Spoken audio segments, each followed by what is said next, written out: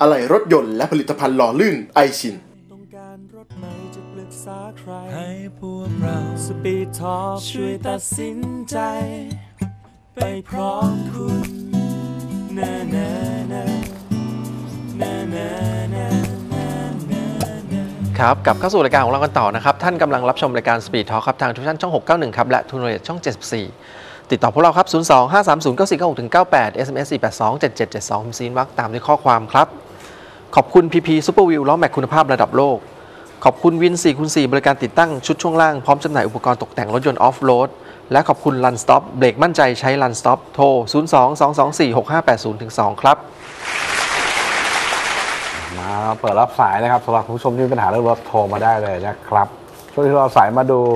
เอสเกันหน่อยฮะ มาดูข้อนี้เขาถามว่าผมสงสัยอยู่ว่ากระบะแต่งซิ่งส่วนใหญ่เนี่ยเป็น Isuzu D-Max กับเชฟ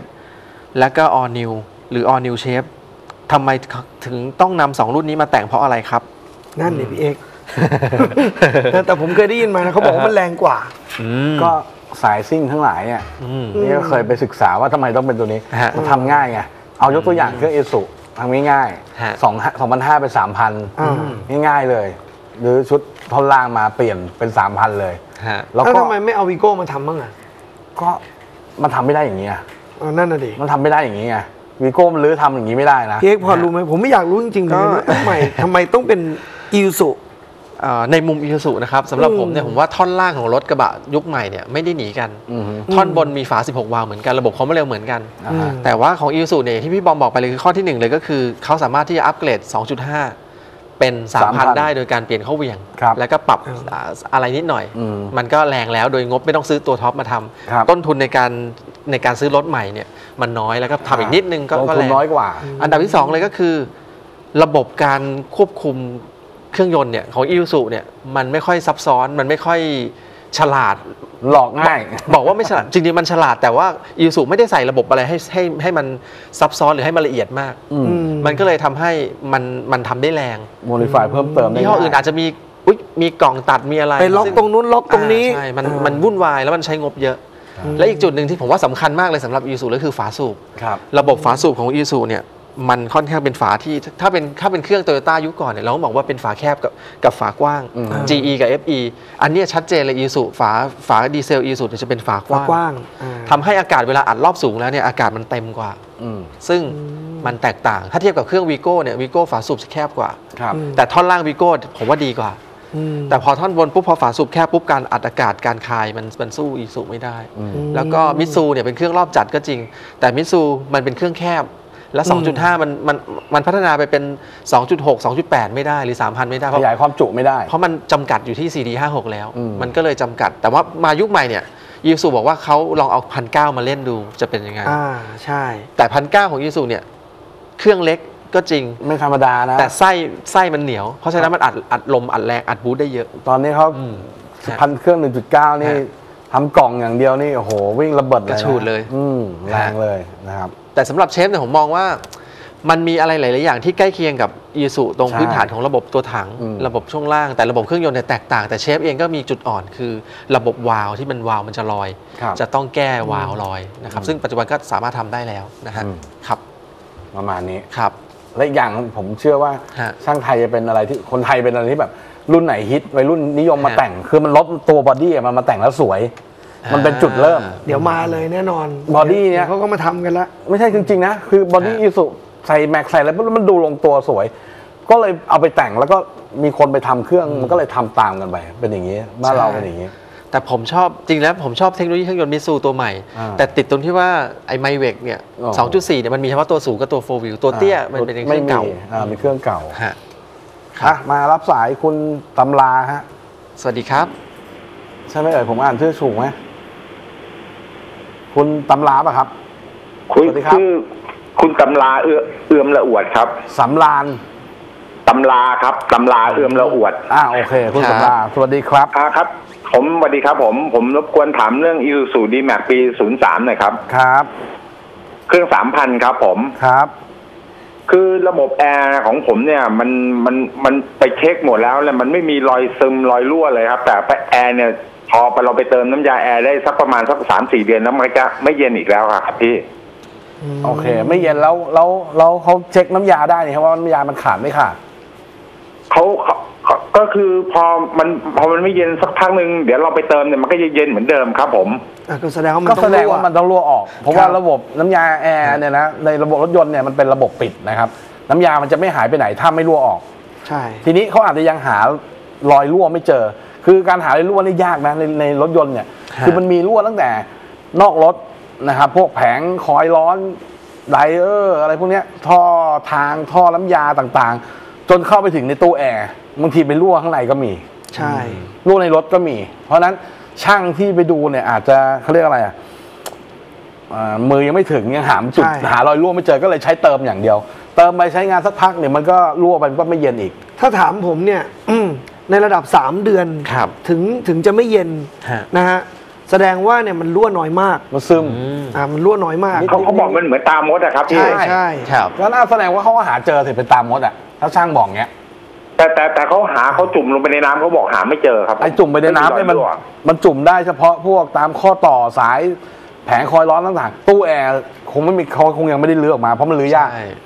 ผมเชื่อว่าอันเนี้ยนะผมสันนิษฐานไว้ก่อนว่าข้างในรถไม่ใช่นอกตู้รั่ว ตู้รั่วรถรถปีอะไรฮะ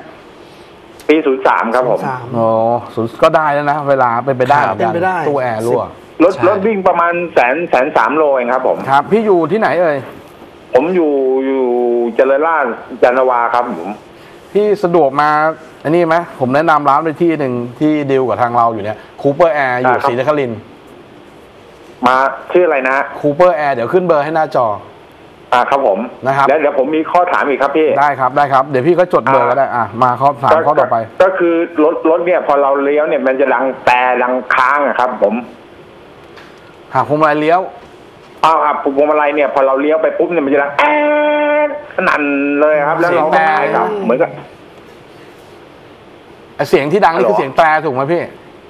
เสียงแต่ครับผม อ่าฮะเอาคำว่าคดีพวงมาลัยเดิมไหมเดิมหมดเลยครับผม เดิมเดิมๆหมดเลยใช่ไหมงั้นแปลว่าไอ้นี่ครับผมฮะไปดูเขาเรียกอ่าศัพท์พวกนี้เขาเรียกชุดลานคออืมมีปัญหานะครับ ซื้อเปลี่ยนได้ฮะช่างช่างเขาบอกว่าไอ้ชื่อสไปรอนน่ะใช่ใช่ไหมครับสายแพรใช่ใช่ครับ ก็เนี่ยแหละชุดเดียวกันกับกับกับไอ้เขาเรียกถ้าศัพท์ช่างเขาเรียกชุดลานคอเนี่ยอันเดียวกัน เพราะฉะนั้นตัวเนี้ยมีปัญหาตรงไหนรู้ไหมเวลาถอดลูกหมาก เราไม่ได้ล็อกพวงมาลัยไว้ใช่มันหมุนเลยแล้วก็ตัวนี้มีปัญหานะครับ CL อะไหล่ยนต์มีครับลานคอ d m a x ซื้อเปลี่ยนได้อ๋อฮะใช่อ่าใช่ครับผม แล้วอีกอีกอีกอีกประเด็นหนึ่งนะครับพี่อะครับก็คือไอตัวแอร์แบ็กเนี่ย ธรรมดาเนี่ยเวลาเปิดเนี่ยมันจะต้องกระพริบถูกไหมฮะครับแอร์แบ็กเนี่ย ทีนี้ของผมเนี่ยมันมันมันมันมันไอถุงลมนิรภัยเนี่ยเท่าตอนนี้ผมไม่ได้ใช้เลยอะครับพี่ อะพี่รู้ได้เพราะว่าว่าไอเราถอดไอตัวแอร์แบ็กเนี่ยออกไปไปไอเหมือนกล่องฟิวส์อะครับผม มันเหมือนฟิวส์อะฮะเดี๋ยว คือยังไงพี่ไปถอดฟิวส์ออกหรือยังไงฮะ คือคือมันเสียอะครับ ผมแล้วช่างเขาบอกว่า ถ้าก็ถ้ามันไม่ไม่กระพริบหรืออะไรเนี่ยเราก็ถอดออกไปเลยเพราะเราเหมือนกับแอร์แบ็กไม่ได้ใช้เลยอะครับ ผมคือพี่อย่างนี้ครับ อันเนี้ยลักษณะคือตัวลานคอของพี่อะเสียอืม แอร์แบ็กมันก็เลยโชว์ด้วยมันเกี่ยวเป็นเรื่องด้วยปกติอ่า ใช่ นะฮะ ไอ้ที่จากที่เลี้ยวแล้วแตรดังเนี่ยมันอาการเดียวกัน อาการเดียวกันเพราะมัคนรับมีตัวสายไฟเข้าแอร์แบ็คพวงมาลัยคือแอร์แบ็กนี่เสียเสียก่อนครับผมนั่นแหละครับแล้วไอไอไอไอที่เลี้ยวดังเนี่ยเพิ่งมาดังตอนหลังนี่เองครับผมนี่แหละอาการนี่แหละฮะมันอาจจะต่อเนื่องกัน มันต่อเนื่องกันครับอ๋อเดี๋ยวพี่ไปเปลี่ยนลานคอใหม่นะครับอ่าให้ครบชุดสายพงสายแพทั้งชุดเนี่ยใส่เข้าไปปุ๊บแล้วก็เอาฟิวส์ไอ้อะไรที่ถอดออกในแอร์แบ็กเนี่ยเสียบกลับเข้าไป ดูว่ามันใช้งานได้ปกติไหม พี่พี่แล้วผมถามอีกนิดนึงนะฮะผมเคยเข้าไปที่ศูนย์ ศูนย์ D-Max ที่นราธิวาสตัดสาทรเนี่ยนะครับพี่ครับ ผมให้เขาเปลี่ยนน้ำมันเครื่องฮะอืมผมนั่งรอครึ่งชั่วโมงช่างเขาเดินมาเลยเขาบอกว่าพวงมาลัยพี่ลูกปืนแตกเจ็ดพันแปดพวงมาลัยผมบอกให้คุณเปลี่ยนน้ำมันเครื่องครับ ผม ทีนี้เขาก็เขาก็ทำเป็นแบบไม่พอใจ เขาก็ใส่ไปเหมือนเดิม ทีนี้ผมโทรไปที่ศูนย์ที่ผมบอกรถน่ะอืมเขาบอกเอามานี่เดี๋ยวฉีดยาให้เข็มหนึ่งอืมไม่ได้เสียสักกระบาทเลยครับ ผม คือเวลาเราเลี้ยวเนี่ยมันจะดังแฟดแฟดแฟดนะตอนตอนนี้ยังพูดถึงนี่ยังไม่ได้ดังดังไอไอตัวสไปรอนนะฮะครับครับพออ่าในนี้เขาที่ที่ศูนย์ออกมาเนี่ยเขาก็เลยฉีดยาให้มันก็หาย แล้วผมเลยถามว่ากรณีเนี่ยมันเกี่ยวกับตรงที่ช่างเขาเขาถอดพวงมาลัยผมเปล่าครับอืม เปลี่ยนถ่ายน้ำมันเครื่องไม่เกี่ยวกับถอดพวงมาลัยเนี่ยเขาไปถอดทำไม เออตามถอดทำไมผมงงอยู่ที่ศูนย์ก็เนี่ยฮะผมให้เขาเปลี่ยนน้ำมันเครื่องฮะมันถึงห้าพันโลอะฮะอืมผมก็จะเปลี่ยนทุกห้าพันโล แต่ช่างเนี่ยเขาบอกว่าลูกปืนคุณเนี่ยแตกเขาถอดมาหมดเลย แล้วเขาบอกว่าเจ็ดพันแปดผมบอกว่าผมให้เปลี่ยนน้ำมันเครื่อง นี่เขาก็ใส่ไปเหมือนเดิม นี่ผมไปไปที่ศูนย์อีกศูนย์หนึ่งคือศูนย์ราชพฤกษ์ที่ผมออกรถนะฮะครับ เขาก็ฉีดยาเขาบอกเขาฉีดยาให้เข็มหนึ่งไม่ได้เสียสักกระบาทเลย แล้วหลังจากนั้นมาอีกสักประมาณสี่ห้าเดือนเนี่ยไอตัวสไปรอนเนี่ยเริ่มเริ่มเริ่มเริ่มดังแล้วครับผม ผมว่าอย่างนี้แล้วล่ะ ผมว่าดีไม่ดีอะคือเขาเลี้ยวแล้วมันอ่าไอ้ศูนย์ที่ไปเปลี่ยนน้ำมันเครื่องเนี่ยฮะอ่าตอนขยับรถเข้าไปอะเวลาเขาเลี้ยวเขาคงได้ยิหนวังเสียง ดีหวังดี คงได้ยินเสียงได้ยินเสียงไอ้ตัวนี้แหละอ่า อ่าก็คิดว่าลูกปืนมันแตก อืมซึ่งจริงๆอะไม่ใช่หรอก อืม อ่าก็คงลานคอตัวนี้แหละลานคอนี่แหละที่เขาเรีกสายแพรมันกำลังเข้าไปพันกันอยู่ไงใช่มันก็เลยเวลาหมุนก็เลยคลักคลักคลอกคลักอยู่ครับข้างใน ผมว่าน่าจะเป็นตัวนี้แหละอ่าครับ เปลี่ยนตัวเนี้ยจบหมดพี่ที่ว่าครับมาไอ้ที่ศูนย์แรกเนี่ยเขาหวังดีออโต้ที่พี่ขึ้นมาเนี่ยนะศูนย์แปดหนึ่งแปดสามแปดศูนย์หกเจ็ดเก้าถูกไหมครับผมครับผมคูเปอร์แอร์ผม ให้ให้ให้ให้ผมเข้าไปเลยน่าจะดีที่สุดเลยนะฮะที่เนี่ยนะ พี่โทรไปบอกว่าว่ามาจากรายการนี้เขามีราคาพิเศษให้แล้วก็ตรวจเช็คให้เลยว่า มันรั่วตรงไหนแน่แล้วต้องเปลี่ยนอะไรแน่นะครับปรึกษาได้เลย พี่พี่พี่พี่พี่ขึ้นพี่พี่ขึ้นโชว์ไว้สักพักแล้วนะฮะ ได้ได้ได้เดี๋ยวขึ้นค้างไว้ก่อนให้โอเคครับเดี๋ยววางสายแล้วพี่เอาโทรศัพท์ถ่ายรูปไปเลยอ้าวโอเคครับผมครับ แล้วก็ CL อะไรยนต์นะ ถามเรื่องลานคอ อืม เบอร์อยู่ข้างหลังผมเหมือนกัน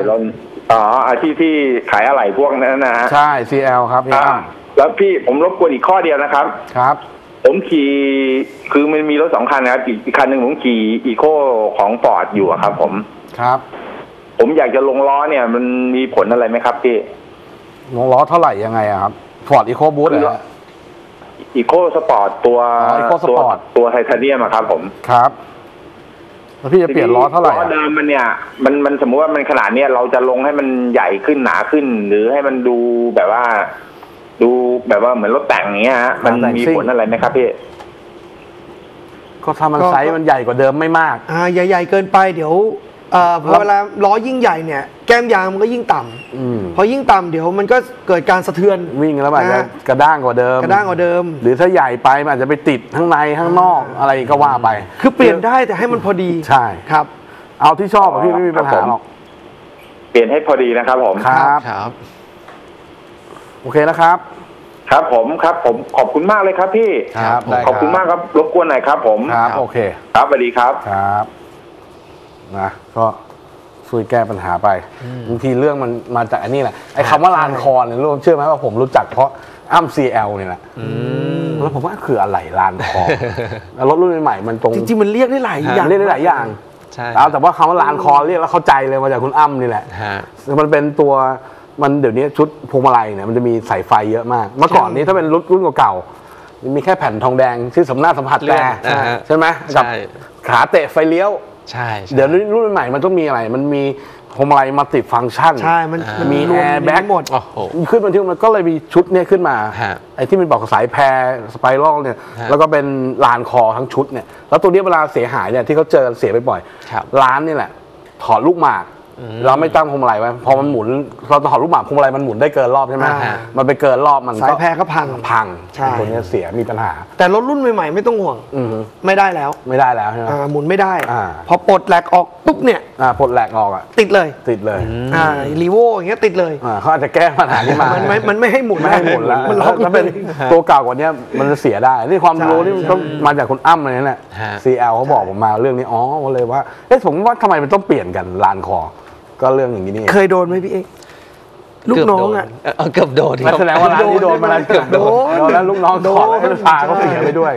อืมอะก็ประมาณนี้แล้วกันฮะนะครับอะงั้นเราไปดูเรื่องราวของมิตรแท้ประกันภัยกับอ่ามิตรแท้หนึ่งเดียวนะครับ การกรมธรรม์เริ่มต้นเพียง 7,000 บาทครับ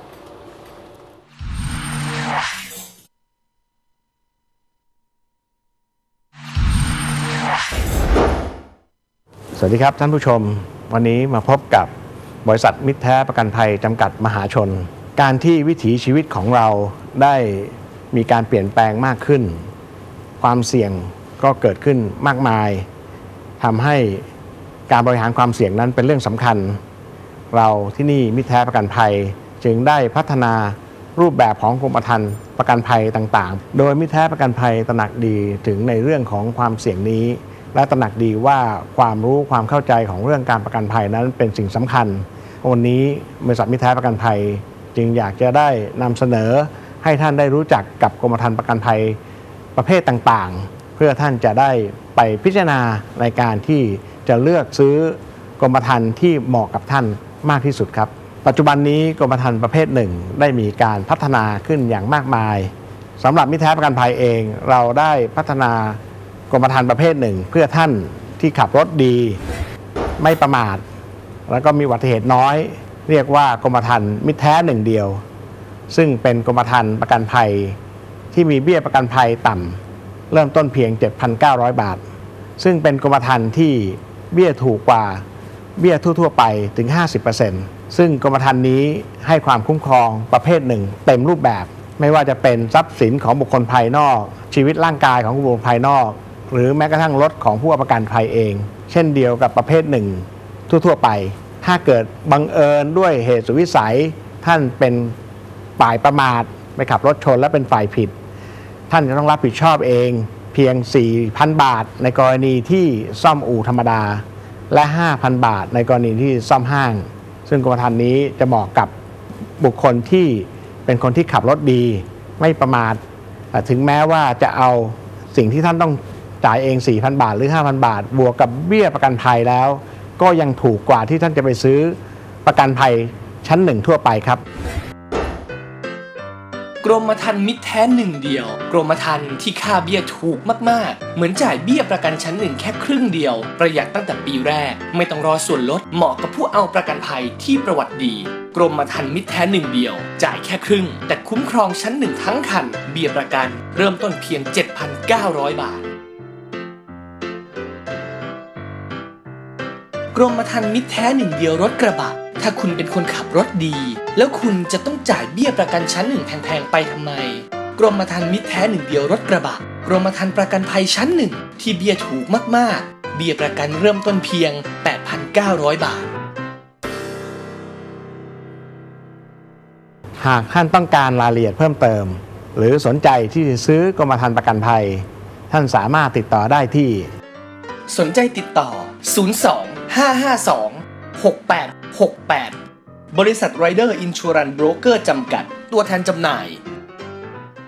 มิตรแท้ประกันภัย จริงใจ เปิดเผย